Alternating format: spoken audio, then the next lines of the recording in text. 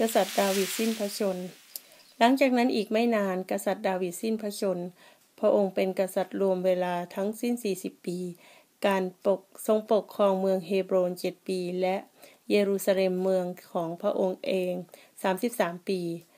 ปัจจุบันซาโลมอนเป็นกษัตริย์องค์ใหม่ พระองค์ทรงพยายามปกครองแผ่นดินด้วยความด้วยพระสติปัญญาอันฉลาดเฉียบแหลม ก่อนที่ดาวิด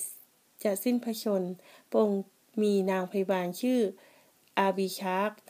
หลังจากซาโลมอนทรงเป็นกษัตริย์แล้ว อาโดนียา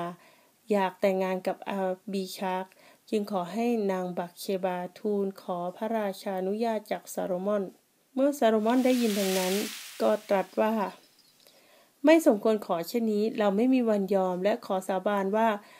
ในวันนี้เราจะต้องเห็นอาโดนียาถูกสังหารให้ได้ แล้วก็ทรงสั่งเบนายาให้ประหารชีวิตอาโดนียาเสีย กษัตริย์ซาโลมอนไม่ทรงไว้ใจปุโรหิตอาบิยาธา เพราะว่าร่วมคิดก่อการกรบฏ แต่ก็ไม่อยากจะประหารชีวิตเขา เพราะความซื่อสัตย์ที่เขามีต่อกษัตริย์ดาวิด จึงแค่ปลดเขาจากการเป็นปุโรหิต เขาจึงต้องกลับไปยังบ้านเกิดตามคำพยากรณ์ ที่พระเจ้าตรัสกับเด็กน้อยซามูเอลว่า ครอบครัวของเอลีจะไม่ได้เป็นปุโรหิตอีกต่อไป เพราะความไม่เชื่อฟังของพวกเขา โยอาบเป็นคนที่พยายามช่วยให้อโดนิยาเป็นกษัตริย์ ฉะนั้นเมื่อเขาได้ยินข่าวว่า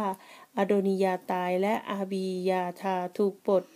จากปุโรหิต เขาก็รู้ว่าเขาจะเป็นรายต่อไป จึงรีบไปที่พับพาและจับเชิงงอนของแท่นบูชา เพื่อไม่ให้ใครกล้าฆ่า แต่กษัตริย์ซาโลมอนยังทรงประหารชีวิตเขา เพราะเขาคิดกบฏต่อพระองค์ ฉะนั้นผู้ที่คิดกบฏต่อกษัตริย์ซาโลมอนจึงถูกกำจัดจนหมดสิ้น